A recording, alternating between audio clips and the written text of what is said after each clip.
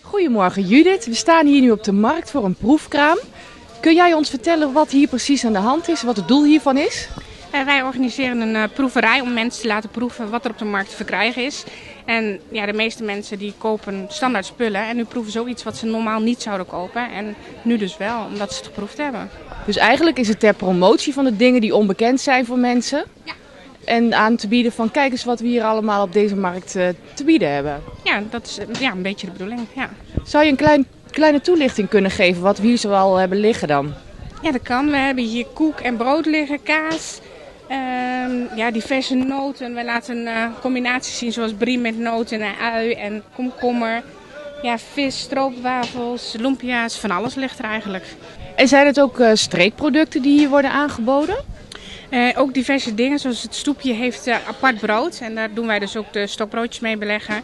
Uh, de kaasboer um, hierachter van Nijenhuis heeft speciale kaas, echt ouderwetse boerenkaas.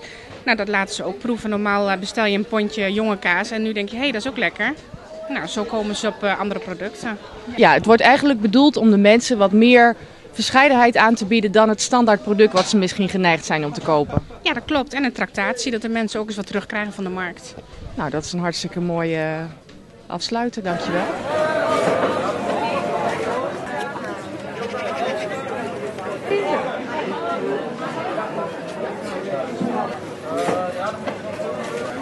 Hoi, kan ik helpen? Oh, 30.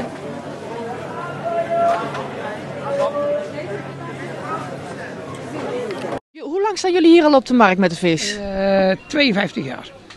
Bent u zelf ook al 52 jaar hier op de markt? Hier sta ik zelf 52 jaar op de markt. En is het... Ik ben begonnen. Ja. Maar is dit een uh, familiebedrijf wat u voorzet of bent u het zelf ooit begonnen? Nee, nee, nee. Het is een familiebedrijf, was het. En toen ben ik later met mijn broer samen ben ik verder begonnen. Doorgegaan. Zo is het gegaan. Maar eerst heb ik daar gestaan met, met, mijn, met mijn oudste broer op de brink. En toen later ben ik hier naartoe gegaan. En wat verkopen jullie zoal? Waarin onderscheiden jullie uh, van, uh, van de winkel bijvoorbeeld? Nee, ik verkoop alleen maar verse vis. Meest verse vis.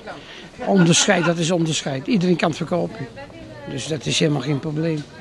Ja, wat, ik, wat ik hier verkoop, kan ook iedereen verkopen. Maar hoe vers is vers?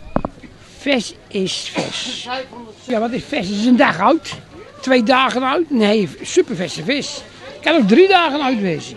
Dat is helemaal niet erg, als het maar goed verwerkt is. Maar zo'n schip komt van zee af. Die is ook een paar dagen weg. Die vangen niet voor de deur.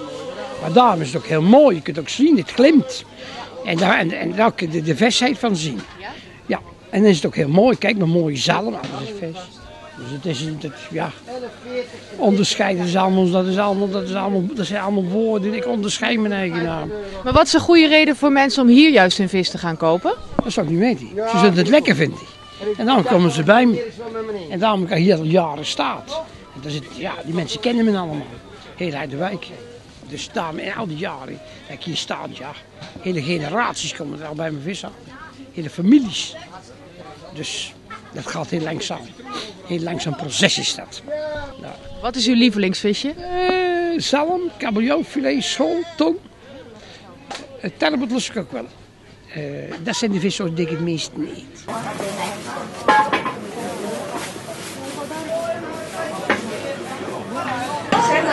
Maar je moet gewoon een beetje bezig zijn. Nou, nu ben je klaar. Dan ga ik nu weg. Heb je gefilmd?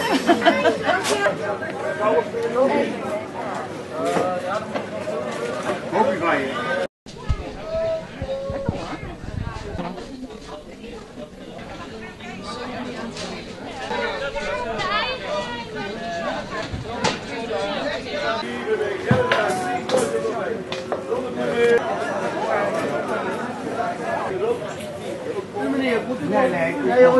Sta hier nu bij de polier uh, op de markt. Wat kun je, kun je over uh, jullie bedrijf vertellen?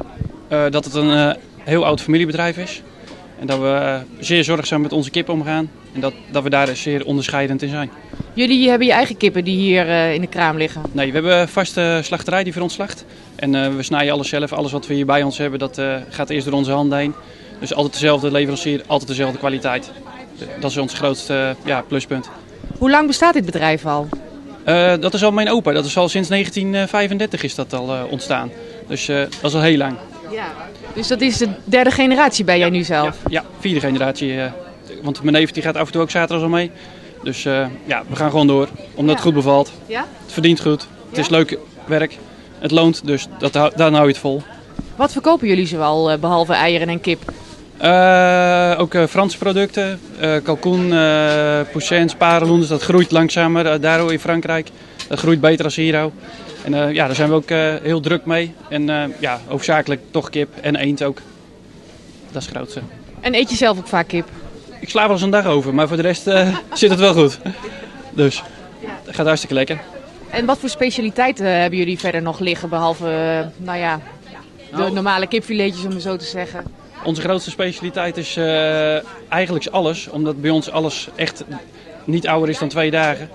En we snijden alles zelf uit, dus mensen hoeven bij ons ook niet meer iets na te kijken als ze het kopen. Ze kunnen meteen eh, ja, lekker van genieten. Ze worden gewoon verwend hier als ze wat kopen. Zo vinden wij het. Nou, dat is een heel mooi uitgangspunt lijkt mij. Ja, het is net geen tractatie, maar Ze moeten er nog net voor betalen. ze moet, ja, eigenlijk eh, ja, dat is het enige minpuntje. Ja. Mooie zonnebloemen, twee borsten van vijf. Ze worden twee keer zo groot. Oh, oh, kom er even bij. Artisjokken, je kent ze nog eens ook. 4 euro, super mooi. Oh, oh, wat zijn ze mooi. En die deur.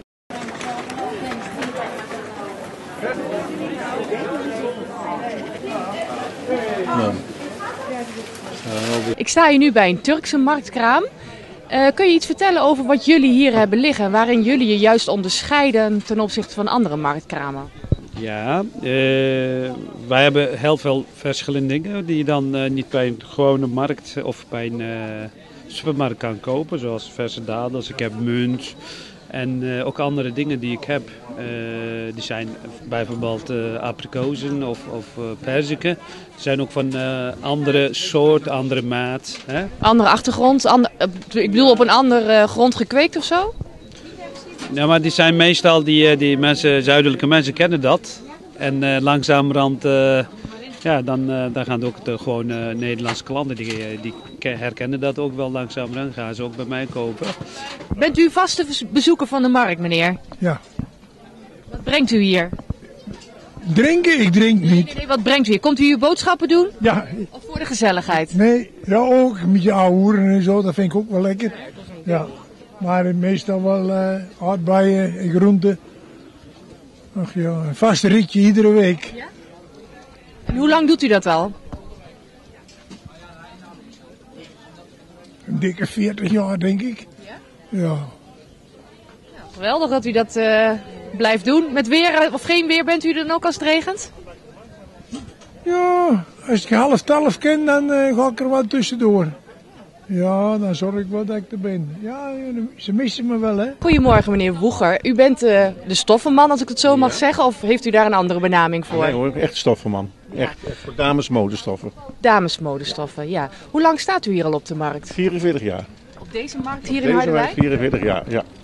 En hoe lang zit u al in het vak? Ja, 44 jaar. Ik heb het eh, overgenomen van mijn schoonvader. Die is begonnen eigenlijk met een, eh, een bakfiets om hierheen te komen. En eh, zo ben ik er zo ingerold. Dus uw, uw schoonvader kwam daarvoor al? voor die... al, ja. Ja? Via de, via de kar? Ja, ik geloof dat wij hier nu 67 jaar op de markt staan. Nou,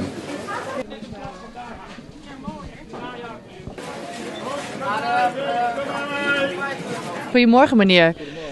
U zit hier lekker in het zonnetje te genieten. Ja, net mijn jas uitgedaan, maar ik vond het vanochtend niet lekker warm. Ik neem aan dat u hier niet alleen maar zit om eh, van het zonnetje te genieten. Nee, mijn potentieel is er momenteel niet. Want wat bent u hier? Waar ik hier ben, Ja. verkoper van schoenen, En dat is uw vak? dat is mijn vak de laatste jaren, ja dat klopt. Eh, dit bedrijf, hoe lang bestaat dit al? Al mijn, eh, mijn vader die is ermee begonnen. Die, doet het al, eh, die staat hier al 30 jaar zo'n beetje volgens mij. Dus, eh, maar ja, die is nou een beetje aan het afbouwen. Dus eh, ja, proberen wij het over te nemen. Dus ja, dat is wel leuk. Dat we samen eh, toch voor kunnen zetten, het bedrijf. Hè? En wat, wat bieden jullie? Alleen stroopwafels? Ja, het is voornamelijk stroopwafels. Hè? En dan wel een, ook wat, wat Belgische suikerwafels hebben we er dan bij liggen. En dan wat van die blikjes. Het is jammer dat u thuis niet kan ruiken wat ik hier ruik, want het ruikt namelijk ontzettend lekker. En ik denk dat jij ons kan gaan vertellen waarom het hier zo lekker ruikt. Ja, dat zijn de versgebakken stroopwafels. Hè? Dus we hebben deeg. Daar maken we een bolletje van. Een beetje plat zo. Dat gaat tussen het ijzer. Dan is het even wachten. Dan komt hij er dadelijk uit. Nou, dan snijden we hem door. En als laatste gaat dan de stroop ertussen. En het deeg, dat ruikt natuurlijk heel lekker hè. Ja. Dan doen we de stroop ertussen.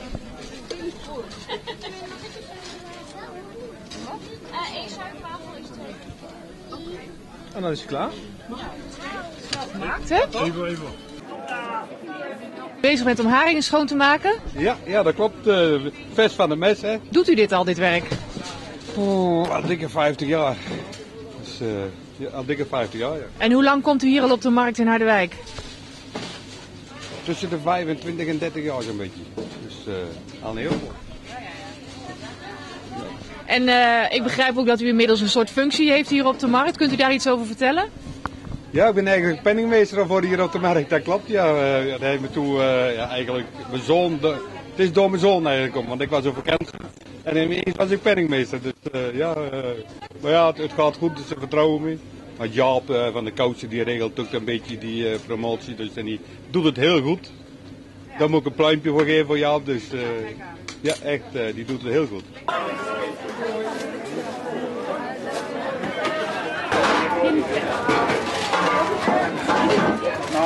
Hinter dem Mann. Ich sehe nur schwarz. Nee, daneben. Genau daneben. Ik sta hier bij de kleurrijkste kraam met de kleurrijkste man, zie ik al van de dag. Ja, ja, ja. Speciaal voor eh, de film aangetrokken. Eh, nou, ik heb er een stuk of twintig, dus ja, ik pak er zo willekeurig eentje af. Kun je iets vertellen over je bedrijf? Hoe lang kom je hier al op deze markt? Ruim 50 jaar. Ik was hier als zo'n kleine jongen.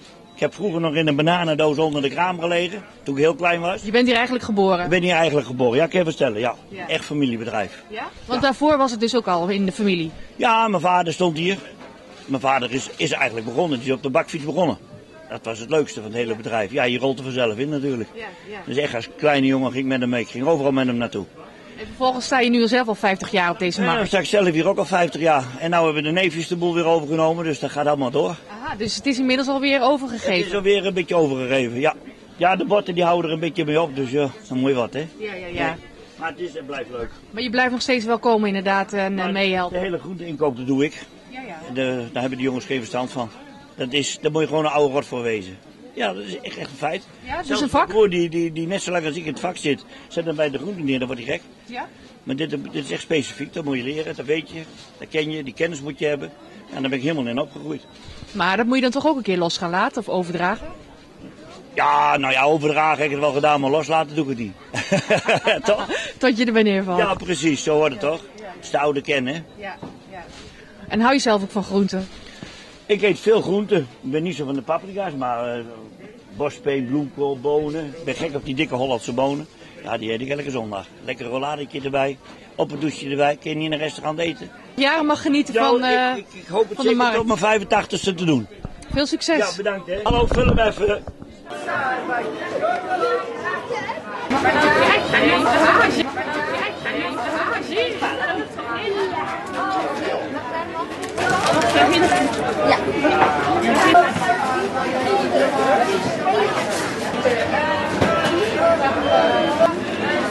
Voor de tweeling en meneer. Ja.